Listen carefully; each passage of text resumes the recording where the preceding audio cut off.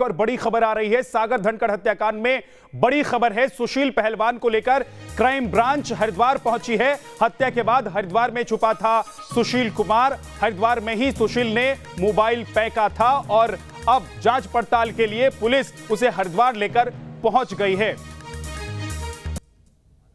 रोमानुल्ला खान हमारे सहयोगी हमारे साथ जुड़ गए हैं। रोमान, दरअसल हरिद्वार में छिपा था। क्या पुलिस को इस बात की आशंका है, क्या इस बार ये लगता है पुलिस को कि हरिद्वार में बहुत कुछ ऐसा मिल सकता है, जिससे जो आरोप हैं सुशील पर, उसे साबित किया जा सकता है?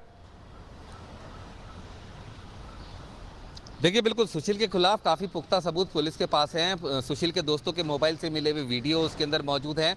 और साथ ही साथ पुलिस के पास जो वहाँ पर लोग मौजूद थे, जिसमें दो सुशील के करीबी हैं, उनके लिखित इकबालिया बयान भी हैं, जिसमें उन्होंने बताया कि सुशील कुमार इस हत्याकांड में शामिल था।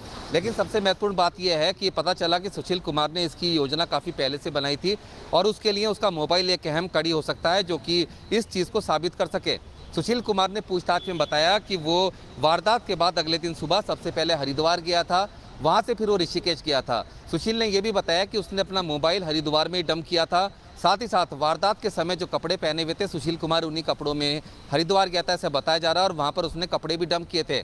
पुलिस को अब वारदात में इस्तेमाल किए गए कपड़े बरामद करने हैं क्योंकि उन कपड़ों की फॉरेंसिक जाँच से साफ़ हो जाएगा कि उस पर सागर का खून लगा हुआ है या नहीं। और दूसरा सुशील का मोबाइल बरामद करना है तो उससे ये साफ़ होगा उसकी जाँच से कि सुशील ने पिछले दिनों किन लोगों से बात की थी सुशील के मोबाइल पर किन लोगों के कॉल्स आए थे और किस तरह की ये पूरी साजिश थी। इससे पहले रोहिणी कोर्ट में भी रिमांड लेते समय क्राइम ब्रांच का कहना था कि सुशील कुमार को अभी उन काफ़ी जगह पर ले जाना ज़रूरी है जहाँ पर वो फरारी के पंद्रह दिन के दौरान ठहरा था। सुशील कुमार हरिद्वार से ऋषिकेश गया ऋषिकेश से फिर मुजफ्फरनगर आया यहाँ से हरियाणा गया हरियाणा से पंजाब गया। तो तमाम चीज़ों को वेरीफाई करना और सबसे महत्वपूर्ण है सुशील कुमार के वारदात के समय पहने गए कपड़े और उसका मोबाइल बरामद करना जो कि सुशील कुमार का दावा है कि उसने हरिद्वार में कहीं फेंका था।